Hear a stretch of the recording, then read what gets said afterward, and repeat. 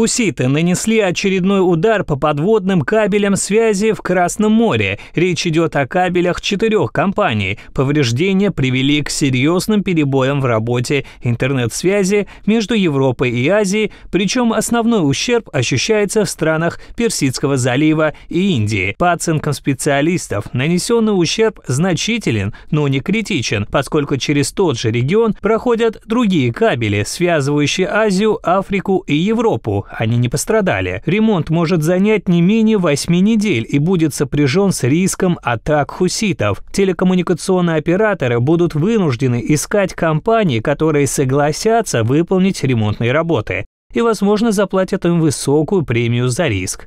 После начала конфликта в секторе Газа в октябре 2023 года хуситы объявили о намерении атаковать корабли и суда, связанные с Израилем. Ударом подверглись также коммерческие суда Соединенных Штатов Америки и Великобритании. А с декабря международная коалиция во главе с США объявила о проведении в регионе операции «Страж процветания» в целях обеспечения безопасности судов.